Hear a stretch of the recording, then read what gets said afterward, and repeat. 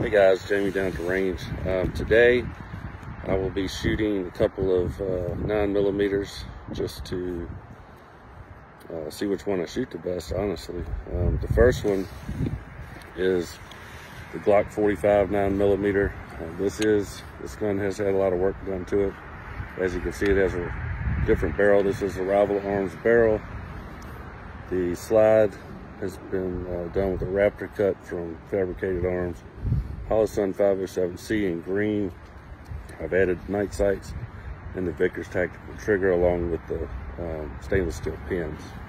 So right much done to this gun.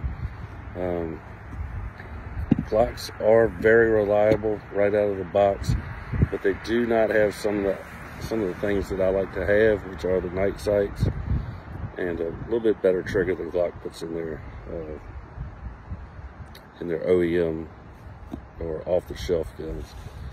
Um, Glock does now have a performance trigger that you can get, which is way better than the regular trigger. But to me, the Vickers Tactical, the Apex uh, triggers like that are are still better.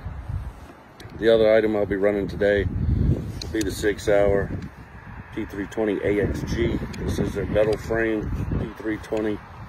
Um, this is one that I built on a fire control unit. You can buy fire control unit from SIG, build whatever fire, whatever handgun you want to build on. Um, I chose to build this exactly like one I already have. I have an AXG Scorpion, which is this gun basically in a different color.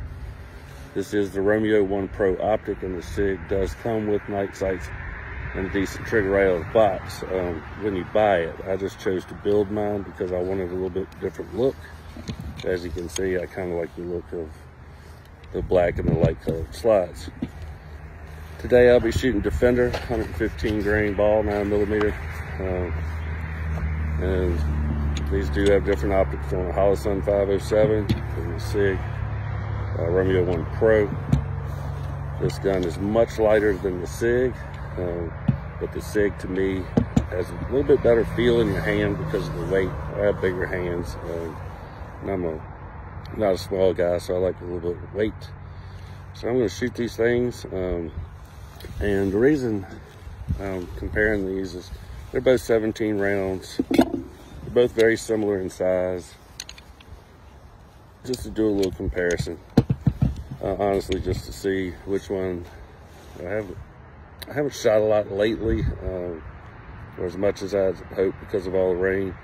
Let's just see which one I shoot better. Uh, I'll be back in a little while and give y'all a breakdown of how these things did.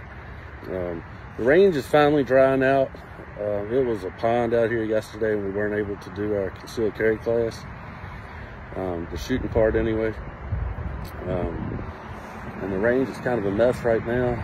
It's supposed to be really warm next week. I plan on getting out here and doing some work and doing a lot more videos and comparing stuff for you guys. So I'm to shoot these. I'll be back and I'll let you know what I think.